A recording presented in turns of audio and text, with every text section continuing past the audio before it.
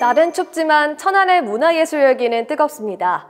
성성 호수공원의 UCC몰에선 천안 예술축제가 진행 중인데요.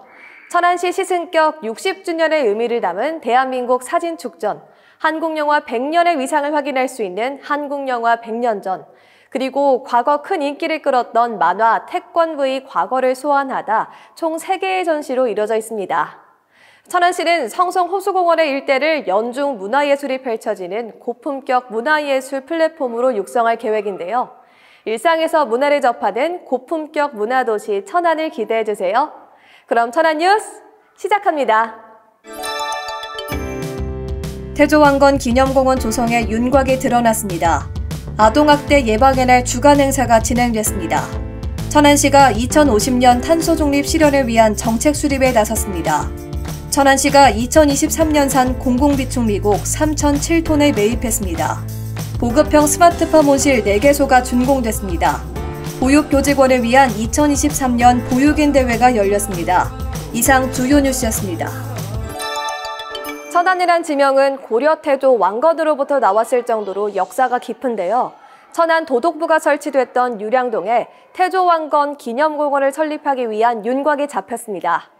천안시가 지난 13일 태조왕건 기념공원 조성 사업을 위한 중간 보고회를 열고 2025년까지 준공 계획을 밝혔습니다. 천안시 동남구 유량동 일원에 조성되는 태조왕건 기념공원은 태조왕건의 이야기가 있는 역사문화 공간으로 조성되는데 천안 도독부를 모티브한 화계를 설치해 역사성을 부여하고 태조 왕건 동상을 설립하는 등 천안의 랜드마크로 자리 잡을 예정입니다.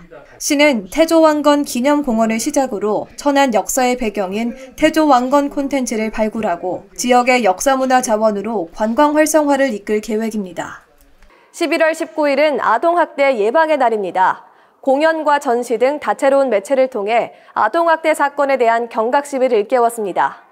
천안시는 아동학대 예방의 날을 맞아 지난 한 주 동안 충남 아동보호 전문기관과 함께 아동학대 예방 주간 행사를 진행했습니다. 시청 1층 로비에선 아동학대 예방 메시지를 담은 그림과 최근 학대 피해 아동 사진 등 30점을 전시하고 아동학대 예방 안내 홍보물을 배부하는 등 아동학대 사건에 대한 경각심을 일깨웠습니다. 17일에는 민관합동 공동연수를 진행하며 아동학대 대응체계 강화 방안을 논의하는 등 아이가 안전한 도시를 만들기 위해 앞장섰습니다. 실질적인 탄소 배출량을 0으로 만들기 위해선 우리 모두의 노력이 필요하겠죠. 2050년 탄소 중립을 실천하는 녹색 도시를 꿈꿉니다. 천안시가 지난 14일 천안시 2050 탄소 중립 녹색 성장 기본 계획 수립 용역 최종 보고회를 열고 최종 보고를 마쳤습니다. 시는 시민을 대상으로 탄소 중립 정책 선호도 설문조사를 실시하고 부문별 온실가스 감축 이행 과제를 발굴하며 지난해 12월부터 기본 계획을 보완해 왔습니다. 이번 보고회를 통해선 2050년 탄소 중립 비전을 탄소 중립을 선도하는 지속 가능한 친환경 녹색 도시 천안으로 정하고 건물, 폐기물 등 총 6개 부문에서 66개 세부 이행 과제를 선정하며 2050년 탄소 중립 실현을 다짐했습니다. 농가소득 감소와 농업 인력 축소가 겹치며 정부는 식량 안보 강화에 관심을 뒀는데요.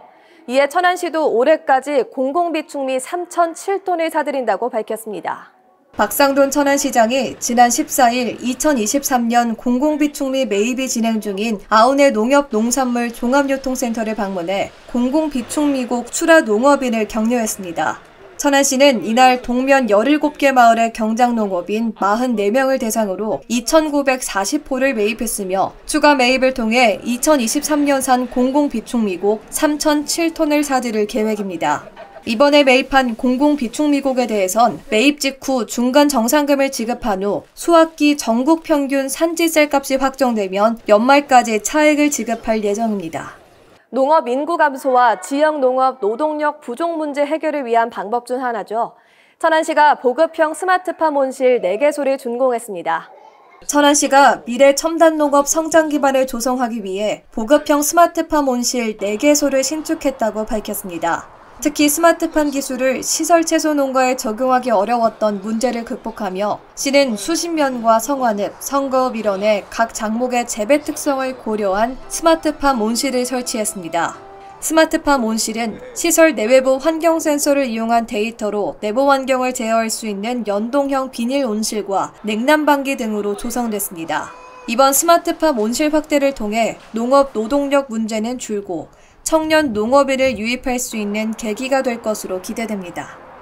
2022년 보육유공 정부 포상에서 대통령상을 수상하며 천안형 보육정책이 높은 평가를 받았죠.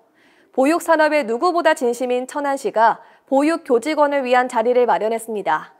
천안시내 어린이집 보육교직원의 화합을 도모하고 노고를 격려하기 위한 2023년 천안시 보육인 대회가 지난 17일 천안시청 봉서울에서 개최됐습니다. 우리는 아이들의 행복한 기억을 함께 만드는 사람입니다를 주제로 열린 행사는 소풍을 테마로 보육교직원을 위한 힐링 콘텐츠가 진행됐습니다. 더불어 영유아의 건전 육성과 보육사업 발전에 기여한 우수 보육교직원과 열린 어린이집에 표창을 수여했습니다. 천안시가 20일부터 주정차 단속 시 문자 메시지와 함께 음성 알림 서비스를 제공합니다. 수신 여부를 모르거나 늦게 확인하게 되는 문자 메시지의 단점을 보완하기 위한 조치인데요. 알림 서비스는 통합 주정차 단속 알림 휘스랩을 설치한 뒤 가입하면 받을 수 있습니다.